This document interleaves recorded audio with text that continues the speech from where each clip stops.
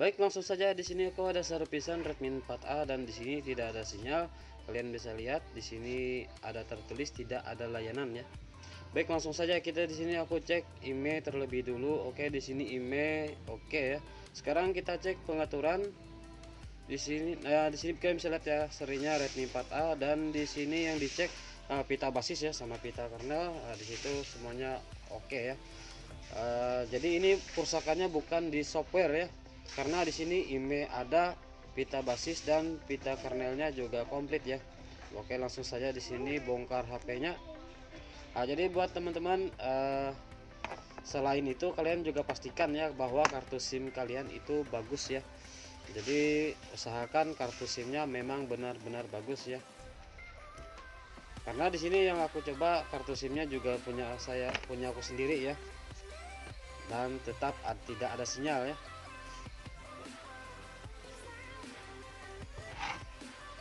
baik di sini sudah mesinnya memang harus dilepaskan ya. Di sini sengan sengnya juga dilepaskan. Nah, kalian bisa lihat di sini ya.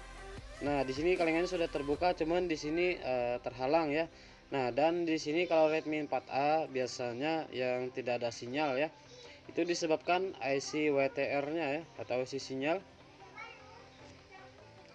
potong saja ya di sini menggunakan potong pemotong kuku ya.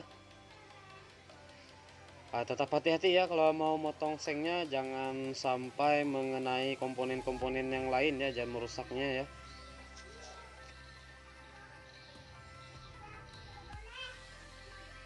Nah, beda ya terkecuali uh, emailnya nul ya. Nah kalau email nul itu biasanya di program ya. Tapi di sini emailnya uh, terbaca ya dan pita basisnya uh, juga oke okay ya. Uh, terkecuali pita basis atau pita kernelnya tidak diketahui ya. Biasanya uh, program juga bisa ya. Tapi di semua sudah komplit ya. Di sini kalian bisa lihat ya ini IC WTR nya dan di sini kalau untuk IC WTR nya menggunakan WTR 2965 ya. Uh, maaf ya di sini karena kameranya agak blur sedikit ya. Jadi kurang jernih ya tapi di sini uh, kalian uh, lihat saja ya di sini WTR-nya 2965 ya itu kode serinya ya. Nah jadi itu harus diganti ya. Uh, tapi kalau kalian mau rehot juga bisa ya rehot sebelumnya. Kalau kalian nggak ada ya kalian bisa rehot. Tapi di sini kalau aku aku ganti ya karena di sini kebetulan uh, WTR-nya juga ada ya stoknya juga ada dan persamaan untuk WTR 2965 ini lumayan banyak ya persamaannya enggak hanya di Redmi 4A ya. Nah, jadi buat teman-teman simak saja ya. Di sini kalau WTR-nya sudah terangkat seperti ini, ya, jangan lupa ya kita kaki-kakinya itu kita rapikan ya e, menggunakan solderan. Jadi pastikan rapikan ya e, se sebagiannya memang agak kita kurangin ya, tapi menggunakan cukup menggunakan solderan ya tapi jangan lupa ya kasih plug terlebih dulu ya kalau mau ya. Biar lebih rapi. Karena biasanya kalau nggak dirapikan seperti ini biasanya kurang kurang efektif ya. Jadi memang harus dibersihkan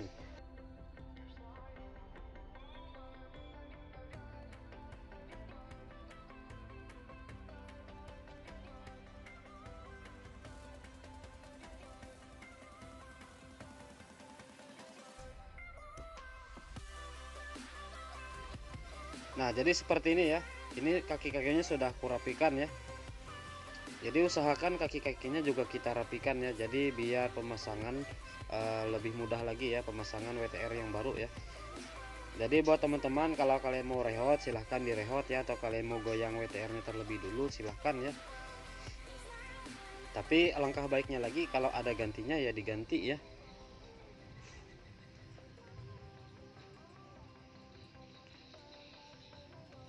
Nah, di sini aku menggunakan blower Quick 857 ya. Quick 857 yang keluaran dulu ya. Di sini kalau untuk suhu panas itu aku menggunakan panasnya aku pulkan saja ya panasnya untuk angin setelan uh, kalau untuk pelepasannya itu aku menggunakan angin satu ya. Tapi kalau saat pemasangan anginnya nol saja ya. Karena kalau pemasangan kalau aku biasanya pemasangan aku tempelkan dulu ya WTR nya seperti ini baru aku tembak menggunakan blower ya tanpa harus dipegang ya. Nah kalau sudah transisi seperti ini biasanya baru aku blower ya. Nah jadi kenapa anginnya nol? Biar WTR nya itu enggak enggak enggak goyang ya. Jadi dia menetap seperti itu ya. Nah jadi di sini uh, persisnya aku blower dulu ya. Uh, sampai WTR nya itu lengket ya. Kalau sudah agak lengket baru biasanya aku kasih plug. Nah, di sini aku menggunakan plug baku ya. Kalau sudah seperti itu baru kita goyang lagi. Nah di sini kalau sudah lengket terserah ya mau ditambahkan anginnya. Uh, kalau di sini aku biasanya kalau sudah lengket seperti ini biasanya aku menggunakan anginnya aku tambahin satu ya. Jadi anginnya cukup satu aja ya kalau untuk panas tetap full ya. Nah jadi eh, untuk stuck blower kalian bisa lihat di video ya. Jadi jangan terlalu lama juga ya kalau kita stucknya. Takutnya WTR nya nggak tahan ya. Nah dan jangan lupa kalau WTR nya sudah terpasang uh, dinginkan dulu mesinnya ya di sini karena video sudah aku skip dan mesinnya juga sudah aku dinginkan ya. Tapi ingat ya saat pemasangan WTR uh, eh, jangan kebalik ya kalian bisa lihat di WTR itu ada titiknya ya. Jadi kalian harus ngikutin arah titiknya juga ya saat pemasangan. Jadi jangan sampai kebalik-kebalik ya. Karena kalau kebalik itu biasanya malah tambah bikin short ya. Oke sekarang uh, karena WTR nya sudah terpasang jadi di sini aku pasang dulu ya mesinnya seperti semula. Biasanya aku coba dulu ya jadi nggak langsung pasang habis ya Oke sekarang aku masukkan dulu. Oke kita tunggu sampai dia hidup ya.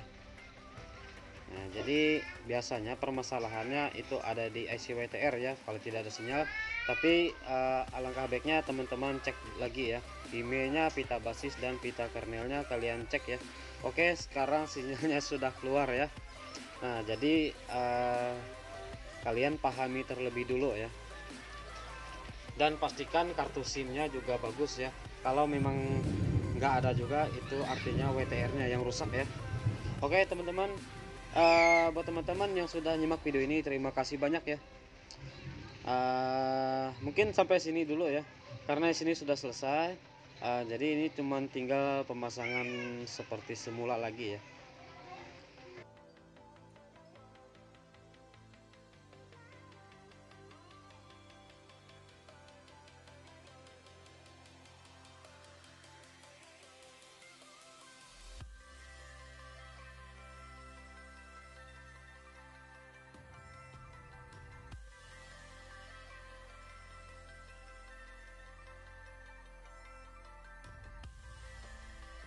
Nah baik teman-teman mungkin sampai sini dulu ya uh, Yang sudah nyimak. Terima kasih banyak Dan yang klik video ini semoga kalian selalu murahkan rezekinya. Amin